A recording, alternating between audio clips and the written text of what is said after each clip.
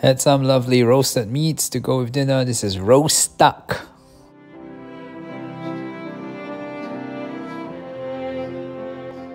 Roasted meat and char siew.